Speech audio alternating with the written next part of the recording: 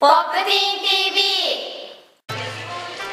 皆さん明けましておめでとうございます。松本愛です。はいえっ、と今年の書き初めはじゃじゃん。こちらです。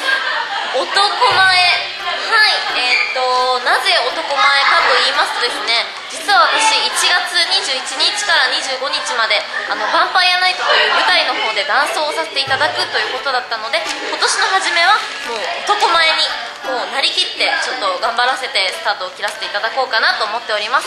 ぜひぜひ皆さん見に来てください。これからも頑張ります。